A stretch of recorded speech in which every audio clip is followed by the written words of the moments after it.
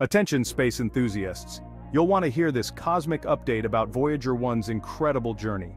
Launched in 1977, Voyager 1 has been our space pioneer, exploring the final frontier.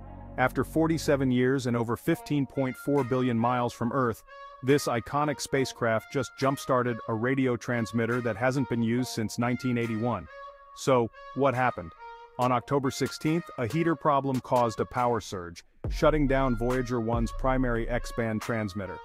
But never fear, the ingenious NASA team reactivated an old S-band transmitter, dormant for over four decades.